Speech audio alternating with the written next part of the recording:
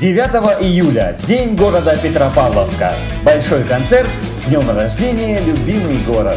Гостей и жителей города поздравляют лучшие творческие коллективы. Специальный гость – народная артистка Казахстана Роза Рымбаева. Начало в 11.00. Центральная площадь перед городским акиматом. А уже вечером мы ждем вас на молодежной вечеринке. Озеро Пестрое, Стелла Северная Звезда. Хедлайнеры вечера – кавер-группа онлайн, город Челябинск.